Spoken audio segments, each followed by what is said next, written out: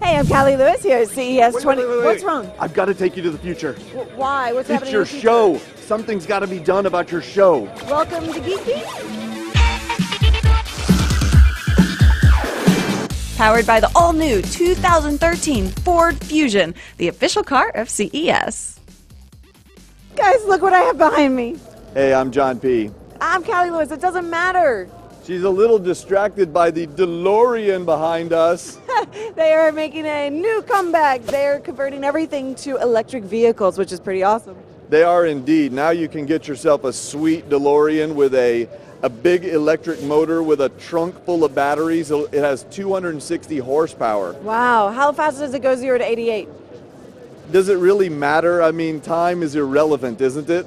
I guess so. I But it'll go so. 0 to 60 in under 5 seconds, I'll tell you that. You Come know, over the, here. The flux capacitor is actually interfering with our noise. It is. Sorry if you're our getting a little audio, so static, guys. It's all the power. advance. It's the it's the gigawatts.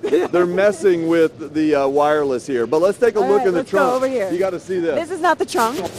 Oh, sorry. It's not the trunk. I mean in the engine compartment.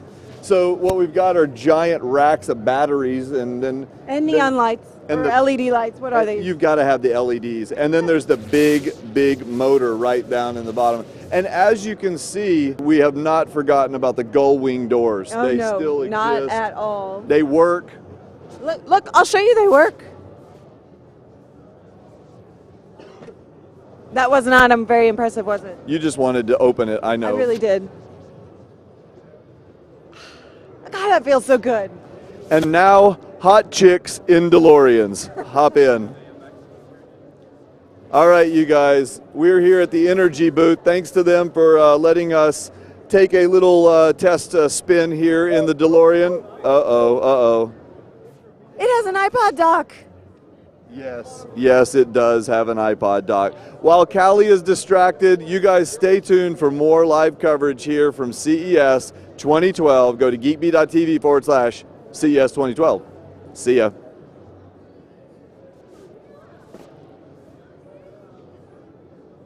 The new 2013 Fusion has adaptive cruise control. It does what cruise control does best it maintains your speed. But when a slower car gets in front of you, as they always do, the adaptive cruise control will actually slow you down to a predetermined distance between the two cars. And when the car in front of you gets out of the way, then it'll speed you back up. Thanks to Ford for powering our 2012 CES coverage. Gotta love them.